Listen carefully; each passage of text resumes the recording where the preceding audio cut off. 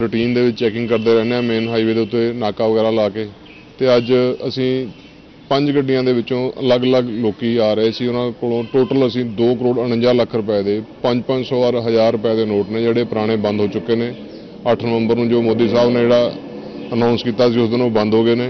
ਹੁਣ ਉਹ ਲੋਕ ਇਕੱਠਾ ਕੈਸ਼ ਲੈ ਕੇ ਮੂਵ ਨਹੀਂ ਕਰ ਸਕਦੇ, ਜੋ ਗਵਰਨਮੈਂਟ ਦੀਆਂ ਹਦਾਇਤਾਂ ਨੇ ਆਰਬੀਆਈ ਦੀਆਂ ਹਦਾਇਤਾਂ ਨੇ, ਉਹ ਲੋਕ ਲੈ ਕੇ ਕਿਤੇ ਅੱਗੇ ਪਿੱਛੇ ਜਾ ਕੇ ਕੋਈ ਉਹਦੇ ਨਾਲ ਗਲਤ ਕੰਮ ਕਰਨਾ ਚਾਹੁੰਦੇ ਹੋਣੇ। ਇਸ ਕਰਕੇ ਅਸੀਂ ਉਹ ਪੈਸੇ ਸੀਜ਼ ਕਰਕੇ ਇਨਕਮ ਟੈਕਸ ਨੂੰ ਬੁਲਾ ਕੇ ਉਹਦੇ ਡਿਪਟੀ ਡਾਇਰੈਕਟਰ ਸਾਹਿਬ ਆ ਕੇ ਉਹ ਪੈਸਾ ਉਹਨਾਂ ਦੇ ਚਲਾਨ ਕੱਟ ਕੇ ਉਹਨਾਂ ਨੂੰ ਦੇ ਗਏ ਨੇ ਤੇ ਪੈਸਾ ਉਹ ਆਪਣੇ ਕੋਲੇ ਲੈ ਗਏ ਨੇ। ਨਾਲ ਉਸ ਤੋਂ ਬਾਅਦ ਅੱਗੇ ਫਰਦਰ ਜੋ ਇਨਕਮ ਟੈਕਸ ਦੀ ਕਾਰਵਾਈ ਹੋਏਗੀ, ਉਹ ਕਰ ਰਹੇ ਨੇ।